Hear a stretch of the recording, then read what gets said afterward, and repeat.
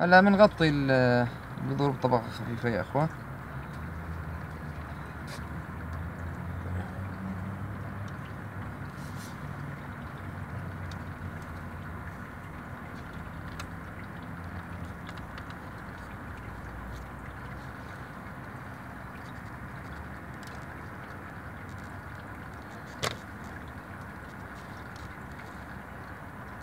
طبعا كثير من الناس بقول لك يا عمي أنا بجرب أزرع ليف ما بيطلع ما بيطلع لا الليف يا أخوة بيطلع بس بده ما تغرق النبتة. النبتة إذا غرقتها بالماء معناها آه، صارت صابها خمج.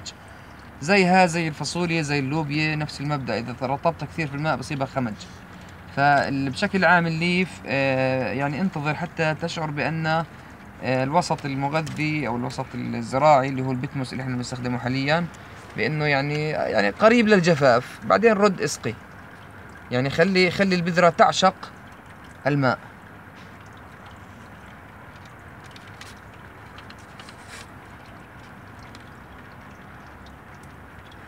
يعني هيك بشكل عام انتهينا.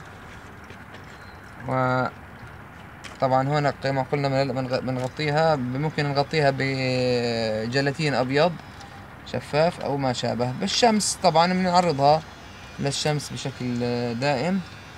طبعا هلا النظام يا إخوة إذا كانت درجة الحرارة بنطفيه بالليل بنشغله أثناء الليل بنقوم بتشغيله.